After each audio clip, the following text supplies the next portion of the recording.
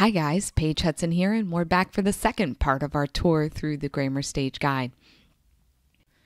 In this part, we're going to look at the actual lesson plans and a little bit at the appendix. Let's dig in. Okay, so let's take a look at the unit, your actual planning sheets for the week. So you'll have the human body unit, and after that, you will have the unit overview sheet. It'll tell you which encyclopedias are scheduled through it. You've got your younger and your older option again, and it'll tell you the scientific demonstration book you need. Uh, then it'll walk you through the sequence, weeks 1 through 10. We really recommend you go through the weeks as scheduled. Of course, you can swap around units within the program, but uh, we recommend that you don't swap around the weeks within a unit. And then you will have the human body poem that you're memorizing for the week. It'll be there for your reference. And then you will have the supplies you need in that unit and also the vocabulary. In your student guide, student will also have the unit sheet and then they will have the unit project. The pictures for this are in the back of their guide, and their vocabulary is actually in a separate section in the memory work as well. So you can see in the back of the guide on page 102 in the biology grammar stage, you'll have that human body poem. And then you'll have their vocabulary will begin in their own glossary section. So those will be ABC order. And then you can see the project pictures also are in the back.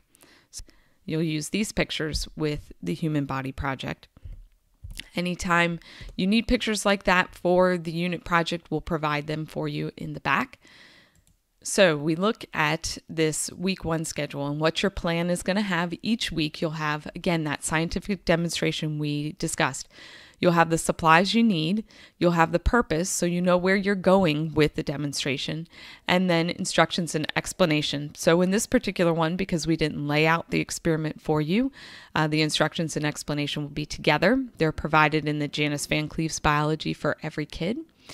And then it'll tell you which uh, sheet they need for their lab report in their student guide. So you flip over to the student guide and you can see on page 53, there's the customized demonstration sheet or lab report sheet for their demonstration. So you'll have the information there, and then you'll also have an idea to take it further. So you don't have to do these activities, they're just additional things. Sometimes they're science related, sometimes they're art related. Uh, but the idea is if your student's really interested in the demonstration, uh, you can just take it a step further with them by using those ideas. So then you'll have the science oriented books section. And this section will have the pages in the two encyclopedia options for you, the younger one first and then the older one. We'll also have additional topics that you could explore and let you know which encyclopedia that comes from. And then we'll give you discussion questions. So, for instance, as you read the body organization or the amazing body section, you can ask these questions about cells. What are cells? How many cells do we have in our body? So you can use those to kind of begin the discussion with your students. As we always recommend, you have a discussion time with them before you ask them to fill in their narration. So, after you ask those questions of them and they answer them, or you may need to help them remember what the answer was, either by rereading the section or by sharing the information with them, then at that point, we're going to ask the student, hey, what did you learn about cells? What is one thing you learned about cells? Or two things, depending on how old they are. And then you write that down on student workbook narration sheet. Whether uh, they're writing it or you're writing it is completely up to you and their abilities. But you'll have three topics like that. Sometimes there'll only be two in a week, but generally you'll have three, and each one will have a separate option on the workbook or you'll have additional book options you can look at from the library if you want to add some more. Again, this is the narration page I just showed you on Student Workbook, page 52. And we'll give you an optional narration at the beginning of the unit to kind of give you an idea of what your students could say. Of course, your students' narration can be completely different, and that's fine. Uh, we just kind of want, if you're looking for what you want them to write down, these discussion questions uh, will give you those answers. At this time, you'll be reading the information with your students, so that's why we don't provide the answers to those discussion questions in there.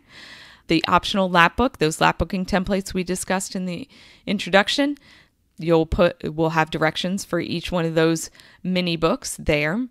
And then you'll have the vocab you want to point out.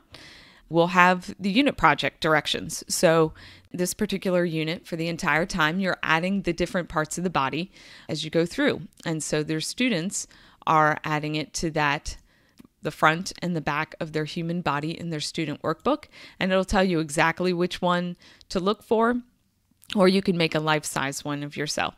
Usually, it'll tell you exactly what page to pull the picture from as well. Give you some more ideas. So, you could do some optional microscope work with this unit. And then we'll also give you the pages for the coloring pages if you want to use those with your younger students or your creative student. And then for each topic that they're covering, uh, we're going to give you some kind of project or activity you could do. Sometimes, again, these are art projects, sometimes they're science projects. As they get a little older in chemistry and physics, sometimes they're a little bit of a research project, but simple stuff that your kids can do. So, this is how you can add to the week if you want to. Again, these are optional ideas, so don't feel like you have to get these done. It's just if your students are interested in the topic and you want to do more. And then you'll have your memory work. The poem won't always be here. Sometimes it will, sometimes it won't. But again, that's referenced in the back of the student guide. You'll have that that they can look at, or you can make a copy of it and post it on the wall so that you can refer to it every time you do it or you will have it at the beginning of your unit overview. Then you'll have uh, which quiz you should give your students. So remember, these quizzes are at the back of the student guide. So, all the way in the back of the student guide, you'll find these quizzes, and it'll tell you it's on page Q25 at the back of the student guide. There it is. And then it will give you the answers to the quiz itself. Again, you can give these orally or you can have your students fill them out. What is the most interesting thing you learned this week is going to vary every single time, but we like asking that question, especially in the younger years. Makes the quiz a little bit easier on them. And then you will have your possible schedules. So you'll have two days a week and five days a week. And again, these will basically contain the same things. It's just you're completing them in two days versus five days. There are a few things that aren't included. For instance, the cell project and the hair project, the project the additional projects are not included in the two day a week schedule the unit project is but not the additional ones so you can decide what fits your schedule and the idea is for you to customize it to what fits for your homeschool and your schedule and what you're able to do so that's a look at each week. You will have the same four sheets with those demonstrations and the books with your questions, uh, with your notebooking directions and vocab, and all those projects and activity ideas, and then your memory work, and the quiz and the quiz answers, and your schedules. So that's what each week will look like in your teacher's guide, and then, of course, the coordinating pages in your student guide. And your student can move through with you. And of course, you can write or they can write themselves. And they'll have a beautiful record of what they've learned as you work through the program. Okay, the last thing I want to do is take you through the appendix, which will have all those templates and things that didn't quite fit in your weekly lesson plan sheets or in the intro. So, the appendix is going to be a great resource for you. In this particular guide, we have the diet chart placement guide. So, any kind of additional information or directions on projects that you need that wouldn't fit within those weekly lesson plans, we'll have here in the appendix for you. And then we will have any templates. So, for instance, in biology for the grammar stage, you're making habitat posters and adding the animals. So, some sample habitat posters will be there for you. You can make your own, but those will be there for your and then we'll have, again, templates of an animal observation sheet. So these are templates of things you could create your own, or we have already provided them for you. And if you want to download those without having to make copies of your printed guide, we have that at that resource page we mentioned back in the intro section.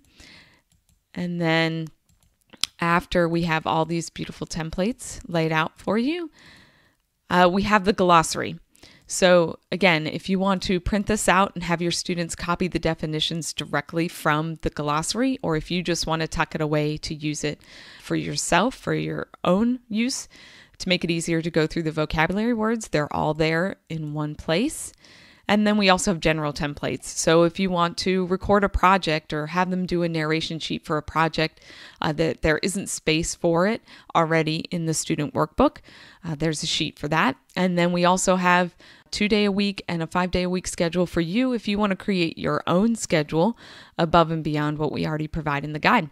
So that's a look at your grammar stage guide and student workbook. If you have any questions about what you see or as you work through the materials, please don't hesitate to send them to support at elementalscience.com and we'll answer them as soon as we're able.